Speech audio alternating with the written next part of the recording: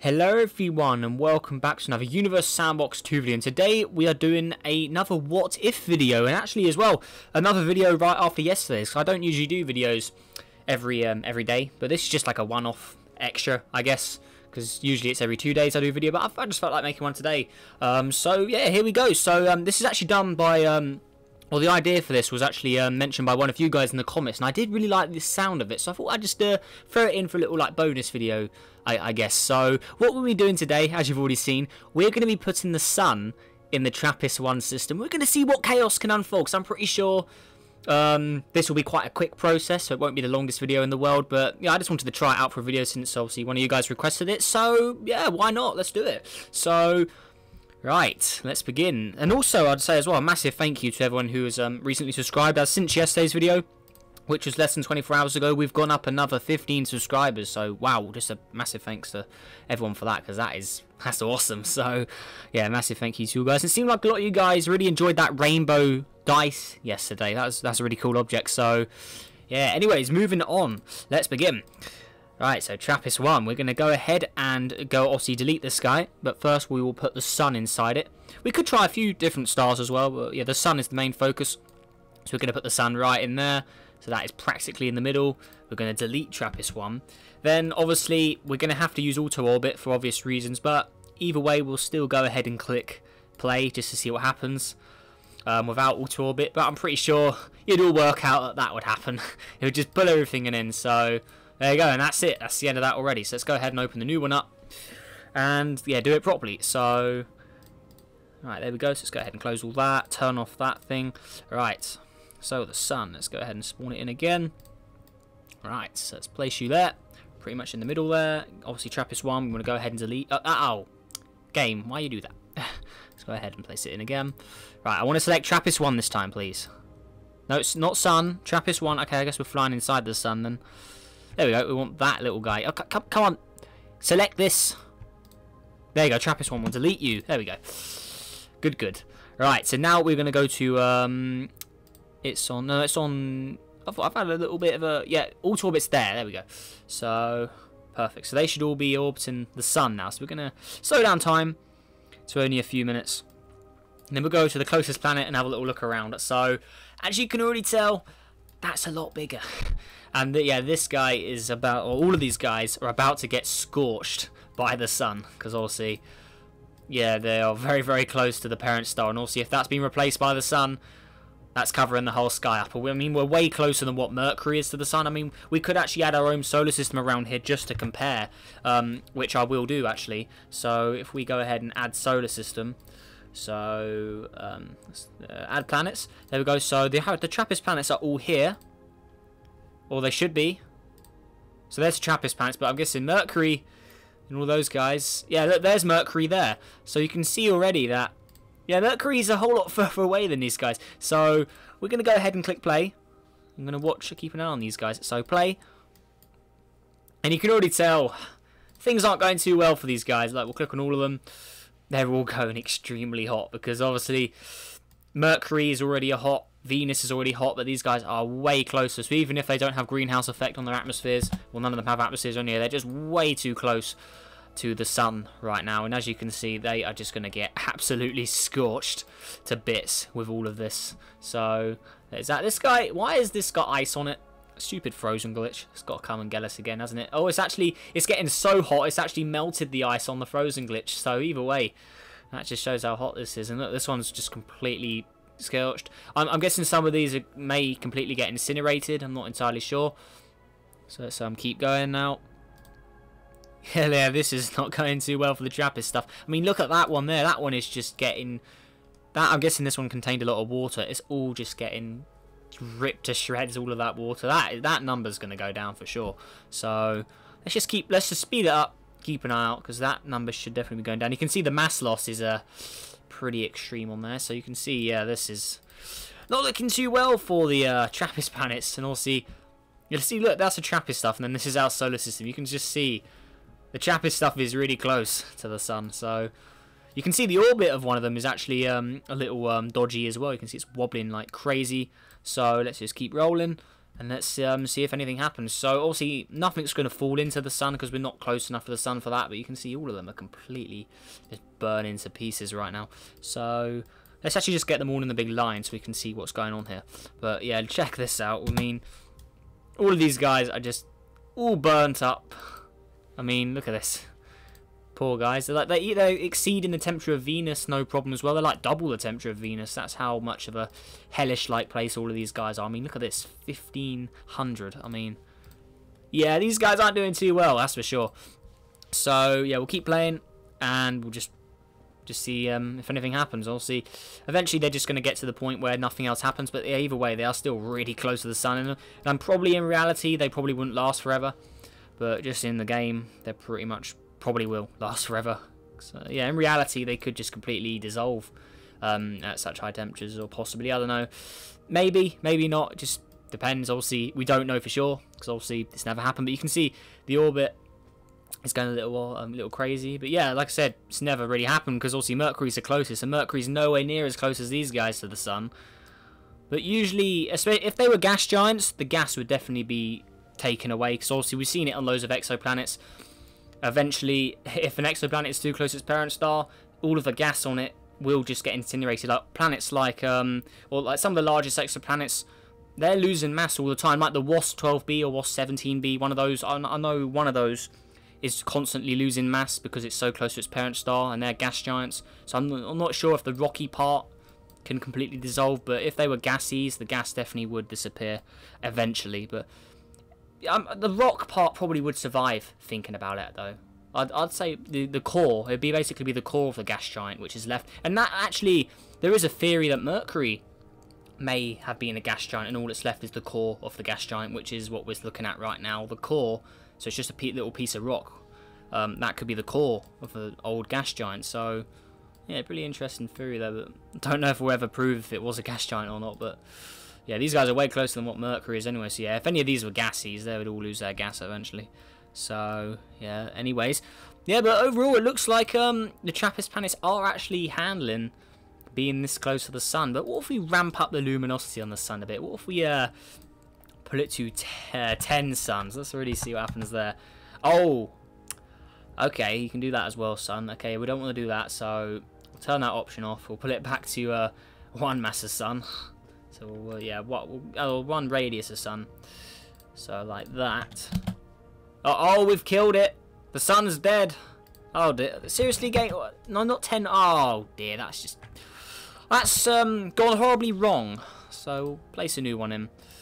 Yeah, that didn't go too well. So we'll turn off this stupid option for a start. Right, luminosity. We want that to go to 10. Oh, come on. The option was switched off, man. Why are you to do that? We want one mass of sun. There we go. One mass and... Oh. Now it's gone back to... Ah, that's annoying. Lock. Now if I put you to... No, not temperature. We want 10 suns. Not one, 10. Like that. And it still makes it bigger, though. Ah. That's quite irritating. But um, we'll click, click play. Oh, God, what has happened? We've broken it. Oh, and it's destroyed everything. Dang it. The sun, what have you done? Look at this. They've just complete... Ah, that's annoying. I didn't click auto orbit, did I? Oh, that's irritating. Because the sun is a star you should never customize, because anything you do to it, it changes one of the other options. So let me just call in one of the Pascal stars. One of those guys. Uh, E, let's use E. There we go. Let's paste that in. Then we'll put its luminosity up to 10 suns. Let's see if that works. Not, not, no, 10. There you go. See, that had no problem, did it? Seriously, game, you you um, are crazy sometimes. But anyways, now we'll obviously go auto orbit again. So tools, more, auto orbit, like that. Click play. Now we'll watch as these guys get incinerated even more because 10, 10 luminosity is a lot, obviously a lot more crazy than one. So we're just going to see how far these guys can go before nothing's left. Because obviously, if you've seen older videos of mine, if you use stars that are even brighter, they're not going to last. So we're going to ramp it up to 50 now. We're going to really spice things up with these guys. Like you can see their temperature's at 3,000. So they're almost a temperature off the start, 4,000 here. But you can just see these are not going to last at all. I mean, that one is glowing crazy. Look, it's a white planet. Um, yeah. All right, now let's go to 100. these are just not... they're not going to last. So this one out here is smoking up. This one here is just, look at that, 4,000. They're hotter than the star. Now let's put it to 1,000. Let's just completely destroy these guys. See how far they'll go. But you can see here, if we go here, they're going into the blue temperatures now. So they are going to completely dissolve at that temperature because it just it will just literally dissolve into nothingness. Look, you can see their radius will definitely go down. Look, it's losing, it's dying. Look, there's material getting sprayed everywhere. There's just, look at this stuff. They're all smoking. TRAPPIST 1D looks like it's completely, well, there's nothing left. Whatever's, what's in the middle here? Is it even an object still? It's just dissolved into nothing. Yeah, look at that, 76, that's just completely gone. It's just completely dissolved. It's picking up some of its mass again, but it's not going to last. But damn, that poor objects, they're not lasting. Let's go back to the star. But yeah, you can see now. Yeah, look, more fragments have been created as well. They've just completely dissolved. Up with these poor guys. So, yeah, 1,000 luminosity at this distance to the star. You are not going to last. So, there's that. So you can see about 1,000 is where they start to get killed. This one out here is doing okay. It's not really that bad. What about... Yeah, G looks like it's doing the best. And let me guess, has G got a higher albedo? 58 against... Uh, 0. So that one is just 0 on that. 44. 1 again. 97 albedo. So TRAPPIST 1B is a high albedo for some reason on this fresh simulation. I'm not sure that's correct, but um, yeah, either way, they ain't gonna last. But now let's really go crazy. Let's just go 10,000. Because obviously, going back to the original purpose of this video, one luminosity of sun. I know it heats them up to over the temperature of Venus, but it's not going to completely incinerate them. You have to have stuff way brighter to incinerate stuff like this. That's why blue stars, they would have less planets around them normally, because blue stars will just incinerate anything that's too close. And obviously, blue stars as well, they do have a lot of radiation around them. A lot more dangerous radiation than a regular star, like our sun would have. So, yeah, there's that. But you can see that just that whole object has just dissolved into nothing. Right, now let's just go like that. Let's just let's just kill everything. That you can see they're all just fading, yeah, like that. They're just nothing left, all incinerated. So, yeah, that's the end of the TRAPPIST system. So, I guess to conclude, if you were to put the sun in the TRAPPIST system, you'd just turn everything into a super Venus, I guess, just insanely hot. But it wouldn't completely, um, it wouldn't completely kill it, um, the planet. Some of them would probably lose mass over time, but they wouldn't completely get eradicated. But to finish off, we're going to use this guy. This is the most powerful star I have by an absolute long shot. I mean, that luminosity is pretty nasty. So we're going to go uh, auto orbit. But I'm pretty sure even at like one minute of time, we're gonna we're gonna slow this down to literally the lowest it will go, just for fun, just to um. All right, there we go. So we're gonna put it to about one second. So that's about real time, and we're gonna pay attention to those planets very carefully, because if we just check the uh, ring, the habitable zone is switched on. We're gonna zoom out. It's gonna take quite a while, and there you go. So we are currently over 23,000 light years away um, the distance of this zone, so that this this zone goes out to about 7,000 light years, this green zone. That is how luminous this sky is. This covers 7,000 light years. So if you put this where Alpha Centauri was, the Earth would probably get pretty hurt from this. So yeah, there's that. But anyway, one second. We're traveling at one second. We're going to click play. Look at the temperature. Look at that. It's just inst instantaneous boiling. Look at all that material that's getting thrown off. Look at it. This is instantaneous. Like time is, but we're traveling at about one. This is real time. We're watching. Look how quick that has just got incinerated. Look at them go. All of them are just. Look at the trails. Look at all of. Look at all of those smoke trails created by this guy. I mean, look at them. They ain't gonna last at all. Nine. Is that nine hundred thousand degrees? That's pretty nasty. So we'll speed up a bit more now, but as soon as these objects start, start going blue, they are absolutely finished. Look at them. and this is happening in seconds, remember. I'm pretty sure these guys will be gone within the hour. Or within the hour or two, I'm guessing, because that's not good. they are just... Look at that, hundred, is that a million? That's a million temperatures. Is that a million? Oh my, that is a, that's a million degrees. Yeah, that's um that's pretty crazy. So we'll just speed up a bit more. But you can see the mass. Look at them. They're just incinerated in minutes. That is just how insane that star is. All of them, every single one, incinerated instantaneously, pretty much. I mean, you probably wouldn't even be able to watch this video in the time that that star has incinerated those.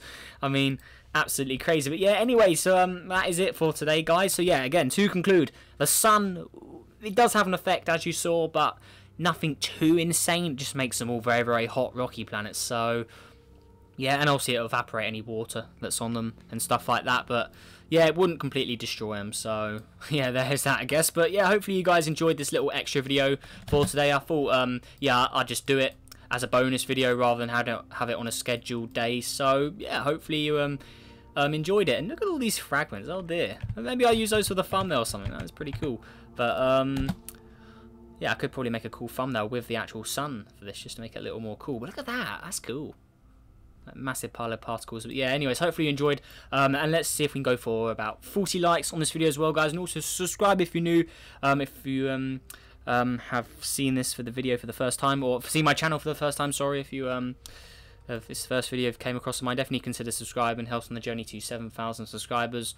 I'm very poor at doing outros. I'm sorry, um, but yeah, definitely um, do that as um, if you want to um, join because it's absolutely crazy. And also, if you got any more ideas, post them in down below in the comments or in my Discord server because yeah, this this idea was actually only posted um, quite recently actually. And I saw it and I was thought, yeah, let's just do it for a video because it seemed pretty interesting. I've never done it it was pretty obvious what was going to happen anyway, putting the sun in the TRAPPIST system. But yeah, hopefully um, you enjoyed it. But anyways, enough of me babbling on with my awful outros. Yeah, I'm, I'm not good at outros, but yeah, enough of that. Um, hopefully you'll have a great day, guys. And yeah, I'll see you in the next video. Goodbye.